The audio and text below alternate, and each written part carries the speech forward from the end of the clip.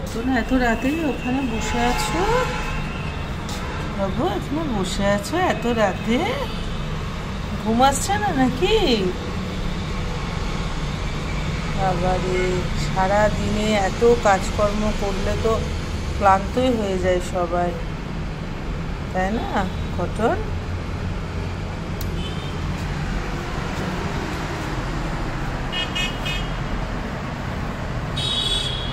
ক্যান্ডু তো শুয়ে পড়েছে। হ্যাঁ তুমি এখানে বসে আছো? ও, কটন। কটন? বাবা, এত কি ভাবছ? ও, কটন। কটন আমার এত কি ভাবে? কটন এত কি ভাবছে? আবার সকালে উঠে কি করতে হবে সেটাই ও চিন্তা করছে। যে কি কি কাজ করতে হবে আমাকে।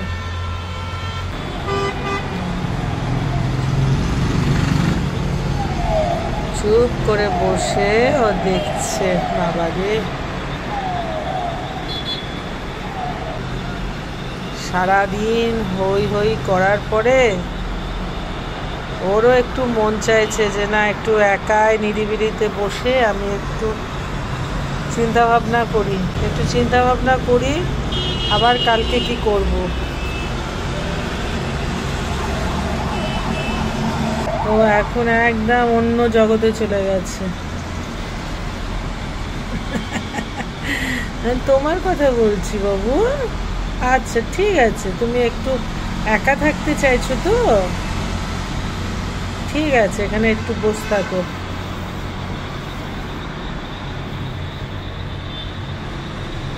ঘুমাতে যাবে কখন বাবা? কটন বাবা?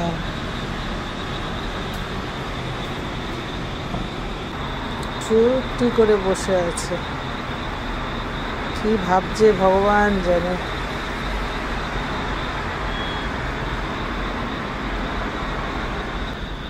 আরেকজন ঘুমিয়ে কাদা, আরেকজন হাওয়া খাচ্ছে ঠান্ডা। কটন, এবার ঘরে আসো। ও কটন। কটন? কটন, এবার ঘরে আসো। এই যে আমি ডাকছি। বাবা, ও তো আবার আরও মুখ ঢুকিয়ে বসল। তুমি কি আজকে রাতে ওখানে বসে থাকবে নাকি? ও কটন বাবু কি এত চিন্তা করছ? কটন বাবু রাতে বসে বসে কি চিন্তা করে?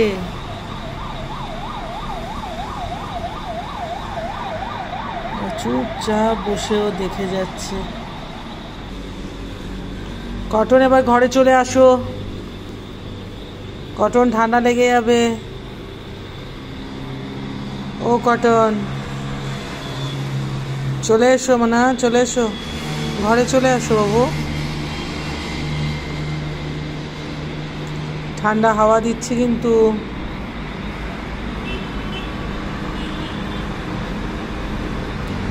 ও আজকে এখানেই বসে থাকবে। ও মাঝে মাঝে এখানে এসে বসে বসে ও যে কি ভাবে কে জানে।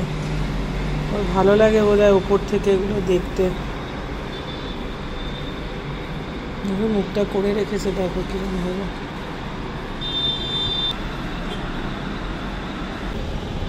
অনেকক্ষণ হয়ে গেছে।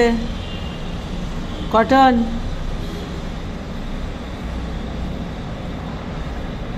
তাকাচ্ছেও না, কি ভাবছে। আমি বন্ধ করে দেবো দরজা। যাই আমি চলে যাই। কটন আমি দরজা বন্ধ করে দিচ্ছি কিন্তু এবার লাইট অফ করে দেবো। ও কটন এই যে চলে এসো হ্যাঁ? গুড বয় সোনা বেটা।